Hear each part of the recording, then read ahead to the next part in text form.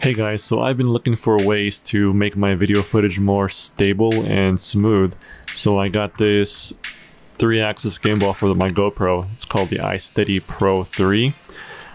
I just want to make a couple of comparison shots to see if it's gonna make my footage look smoother and a lot more stabilized just with walking and running. And I'm pretty sure I know the answer to this question, so we'll see how it goes.